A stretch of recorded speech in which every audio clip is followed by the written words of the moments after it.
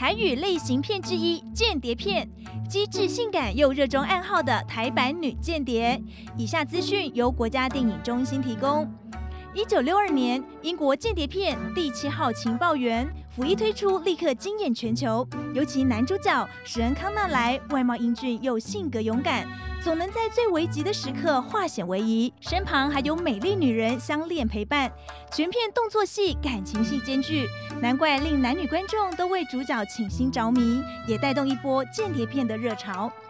两年后，不让间谍洋片专美于前，台湾也推出了第一部掷地有声的台语间谍片《天字第一号》。有趣的是，不同于西洋版的帅哥型男间谍，《天字第一号》的主角可是一位不折不扣的大美女，由白虹主演，一位风情万种、刚柔并济的抗日女间谍，为了保家卫国，不惜与恋人男主角柯俊雄分手。情愿嫁给大汉奸，所以在片中，她一边扮演着震惊八百的美丽女主人，同时也要尔虞我诈、欲擒故纵的卖弄风骚，骗取男人提供情报及协助，偶尔还得露出矛盾挣扎的神情，向旧情人表达眷恋及深情。白红妖姬与清纯集一身的多变样貌，果然轰动全台，票房满座。不仅《天字第一号》连续拍摄了五部同系列电影，当年更疯狂掀起竞拍台语谍报片的热潮。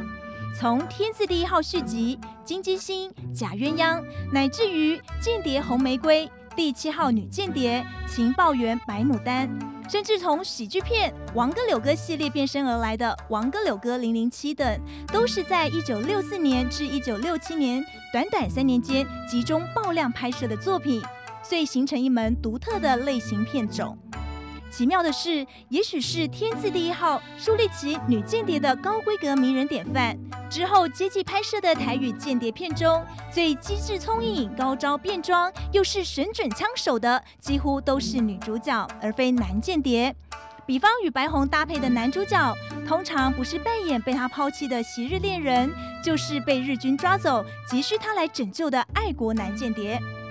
而由其他知名女星白兰、柳青、玲玲、小明明等主演的《间谍红玫瑰》第七号女间谍燕蝶三盲女，更是从片名就一窥即知，她们这群女间谍们才是主宰电影戏份饱满的灵魂角色。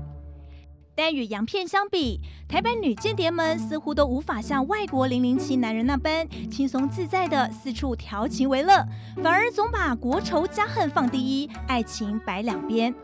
毕竟要担当间谍界中的翘楚，就得有牺牲自己真爱或身体的打算。所以嫁给大汉奸当续弦太太，或做日本特务的干女儿，他们全都无所谓。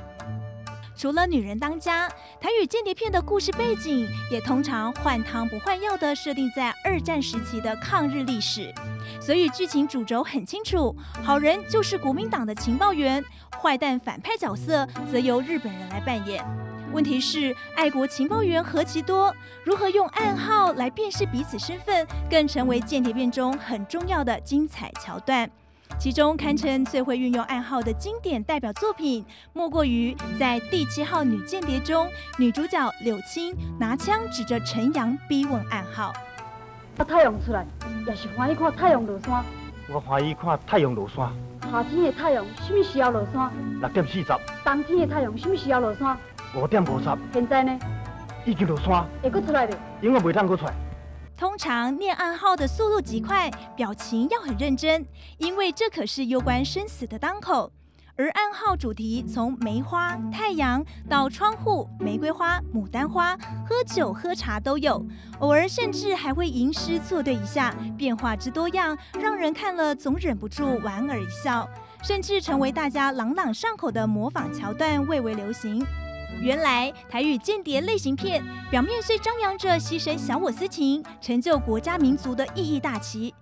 但其实里头最饶富兴味的致命吸引力，应该还是那一个个机智性感、飞天遁地，又能够快速背诵出许多无厘头想象力、密语暗号的台式女间谍们。